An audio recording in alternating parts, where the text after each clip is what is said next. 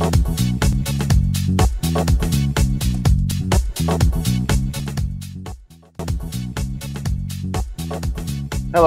and welcome to the Express Lane, part of the Axsys Web Express YouTube channel.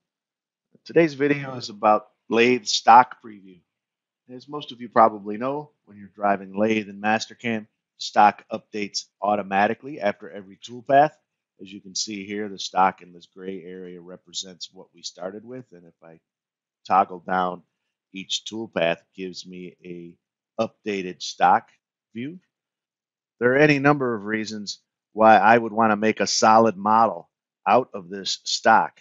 And there are several ways that I can do that. The easiest way that you may not be aware of is the lathe stock preview. To access that, you simply right click in the toolpaths operation manager and down towards the end of the box that pops up, it says lathe stock preview. I'm going to go ahead and click on that.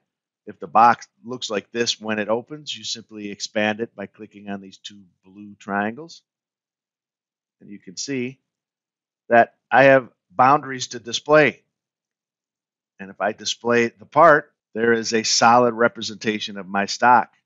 And I can select Keep Geometry, green check mark that, and I now have a solid representation that I can save as an STL or another type of solid model to use. And in this case, this is going to another machine after these operations and I can use this solid representation as the starting stock on that machine. A clean and efficient way to create a solid while driving lathe and Mastercam.